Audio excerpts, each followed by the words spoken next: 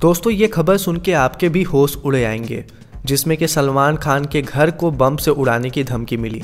जी हाँ हम आपको बता दें कि हाल ही में मुंबई पुलिस को एक ईमेल मिला, जिसमें कि ये लिखा हुआ था कि बॉलीवुड सुपरस्टार सलमान खान के घर को बम से उड़ाने की धमकी दी गई है।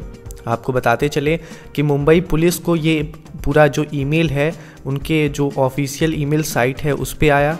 और इसके बाद सलमान खान के घर को पूरी तरीके से खाली खाली जो है, पूरा खाली करा दिया गया। आपको बता दें कि उस टाइम पे उनके घर पे उनके पापा सलीम खान थे और उनकी मम्मी थी। वहीं पुलिस को धमकी भरे ईमेल में लिखा था कि बैंड्रा में गैलेक्सी, यानी कि सलमान खान के घर में दो घंटे में ब्लास्ट होगा। रोक सकते हो तो रोक लो। इसके बाद पुलिस तुरंत हरकत में आ गई और बॉम्ब डिटेक्शन टीम के साथ सलमान खान के घर पहुँची। इसके बाद बिल्डिंग्स में चप्पे चप्पे की तलाशी ली गई। इसके बाद परिवार को वापस अपने फ्लैट में आने दिया गया।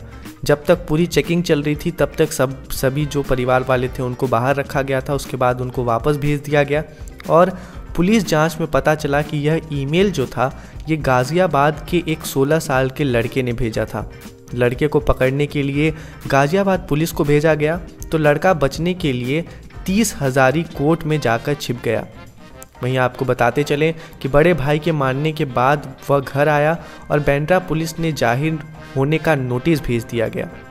वहीं ये बहुत ही छोटी हरकत थी और ये जो फेक जो ईमेल भेजा गया था, ये बहुत ही बड़ी दुख मतलब कि कुछ बहुत ही बेकार चीज़ थी, जिसमें कि उनके पापा का टाइम वेस्ट हुआ, पुलिस का टाइम वेस्ट हुआ। अगर सलमान खान होते तो उनका भी टाइम वेस्ट होता। तो ये जो हरकतें होती हैं, जो कि बहुत ही नीच और बहुत ही गिरी हुई हरकतें होती हैं, ऐसी हरकतों के बारे में आपका क्या कहना है, नीचे कमेंट सेक्शन में लिख के बताएँ। सब्सक्राइब करें टॉप ओपन फैक्स ताकि आपको हर अपडेट मिले सबसे पहले। धन्यवाद।